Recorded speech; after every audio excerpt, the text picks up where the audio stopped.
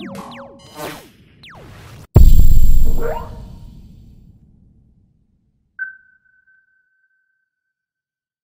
Ciao a tutti ragazzi, siamo a Varsavia alle finali della Wargaming.net League 2014 che sostanzialmente sono le finali mondiali del campionato mondiale di World of Tanks. Wargaming.net, azienda ormai famosissima, azienda bielorussia, ha all'attivo due giochi, uno è World of Tanks, l'altro è World of Warplanes, grande assente da questa manifestazione. Ci hanno detto perché il gioco è uscito solo quattro mesi fa, quindi è troppo presto per organizzare un campionato mondiale. In realtà crediamo che sia una scelta un po' politica perché il gioco ha ancora alcuni difettucci che ci auguriamo verranno risolti nei prossimi mesi. Invece quello che sembra davvero un gioco perfetto è World of Tanks. Questa mattina Victor Kisley, l'amministratore delegato di questa società bielorussa, ci ha presentato alcuni dati e ha parlato, pensate, di 80 milioni di iscritti, che è veramente un numero spaventoso. 80 milioni di giocatori a questo titolo dedicato ai carri armati.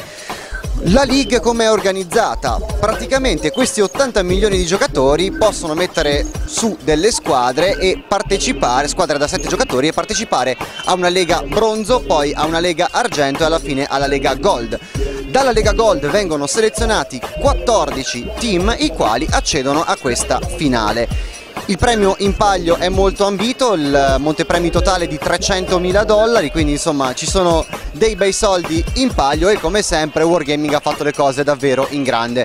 Un evento splendido, un sacco di gente, sono stati invitati tantissimi giornalisti, più di 100 giornalisti da tantissimi paesi, le squadre arrivano da mezzo mondo, abbiamo incontrato una squadra del sud-est asiatico, abbiamo incontrato delle squadre europee, americane, Ovviamente non mancano le squadre dei paesi russi, sono gettonatissime le squadre russe, anche la squadra polacca locale, i Lemmings sono gettonatissimi, c'è un tifo pazzesco ed è veramente una bella atmosfera perché qui comunque c'è molto sport, effettivamente Wargaming sta cercando di trasformare il suo titolo in uno sport, in un cosiddetto e-sports e ci sta riuscendo perché veramente qua c'è molta sportività, ci sono i giudici, ci sono degli atleti professionisti che sono qui apposta per, per vincere il premio e si vede che è gente che gioca tantissimo, uno, uno degli atleti che abbiamo incontrato qui alla manifestazione all'attivo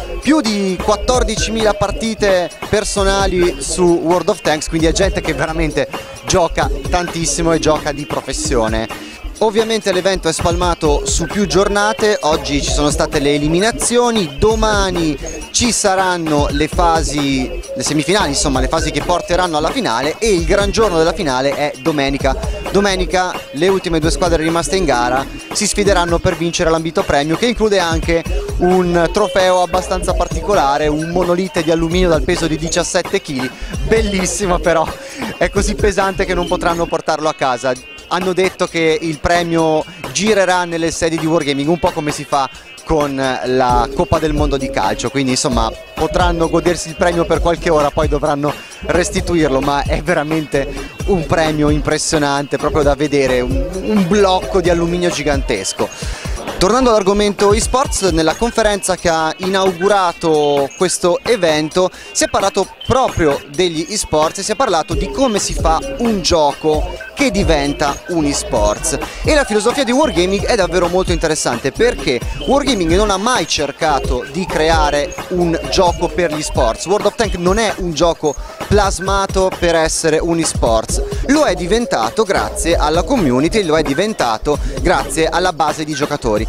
Quindi sostanzialmente quello che è stato detto è che secondo Wargaming un gioco diventa esports nel momento in cui comincia a ricalcare le caratteristiche di uno sport comune, quindi tante persone che lo praticano, e qui parliamo di 80 milioni di persone, delle regole chiare, le regole di World of Tanks sono cristalline e il bilanciamento, lo sport deve essere bilanciato, quindi le squadre devono gareggiare ad armi pari e questo è uno degli obiettivi più importanti degli sviluppatori di World of Tanks che fanno molta leva sulla community la quale fornisce dei feedback per migliorare il gioco di giorno in giorno. E la cosa sembra funzionare molto bene, se siamo arrivati fin qui insomma abbiamo visto dei match che si sono giocati all'ultimo secondo quindi insomma davvero il gioco è fatto molto bene, quindi riusciamo davvero a comprendere le ragioni del successo di World of Tanks. Bene, ho concluso con questo aggiornamento abbastanza lungo dalla Wargaming.net League, dalle finali della Wargaming.net League. L'appuntamento con gli aggiornamenti da questo evento sportivo arriveranno nei prossimi giorni su Spazio Games, quindi vi consiglio di restare sintonizzati sul nostro sito. Alla prossima!